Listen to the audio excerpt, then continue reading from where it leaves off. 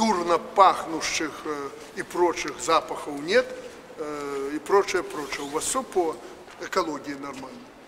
Мы бы не подписали акт ввода. И Минприроды, и Минздрав, вот они подписаны. То есть нет вопросов. Нет проблем.